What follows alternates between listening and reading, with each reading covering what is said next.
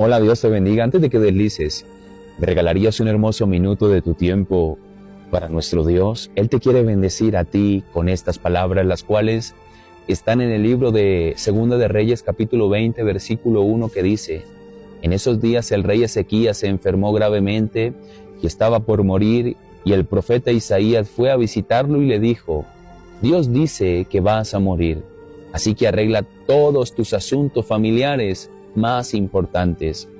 Entonces Ezequías volvió su cara hacia la pared y oró a Dios así. Dios mío, no te olvides de que yo siempre he sido sincero contigo y te he agradado en todo. Luego Ezequías lloró con mucha tristeza. Isaías lo dejó, pero antes de salir al patio central del, del palacio, Dios le dijo, vuelve y dile al rey que yo, el Dios de su antepasado David, escuché su oración y vi sus lágrimas. Dile yo voy a sanarlo y que le daré 15 años más de vida. ¡Wow! ¡Qué historia tan impactante, verdad! Hoy no sé qué te hayas enfrentando en tu vida, en tu salud, en la situación con tu salud, pero hoy veo al rey Ezequías, el cual un día como cualquier día, vino una noticia a él, no de parte de los hombres, sino de parte de mi Dios, el creador y dueño de la vida, el que te da la vida a ti y me da la vida a mí. Le dijo por medio de Isaías a Ezequías, ¿sabes qué? Te vas a morir.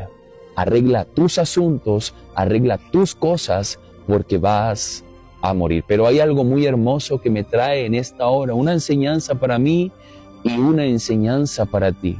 Que Ezequías no se quedó como que, ok, porque Dios me lo dijo, porque Dios me mandó a decir, voy a dejar que las cosas pasen así.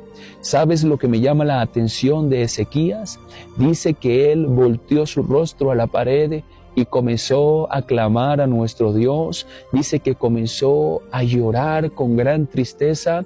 ¿Sabes qué es lo bonito del asunto? que Dios escuchó la oración de Ezequías, escuchó su clamor y escuchó cuando Ezequías le dijo, Señor, acuérdate que yo te he sido sincero, te he sido fiel y te he servido.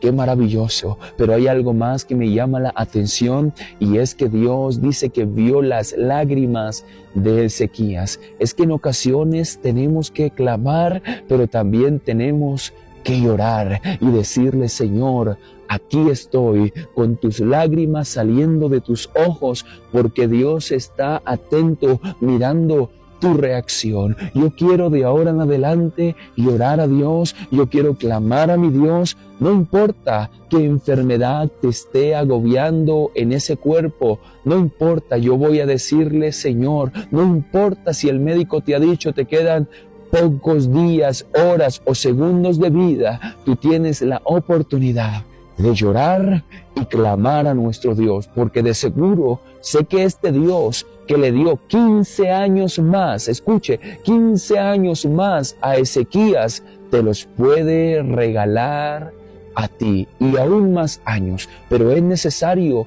clamar a nuestro Dios y llorar a Él para que Él nos sane. Que Dios te bendiga.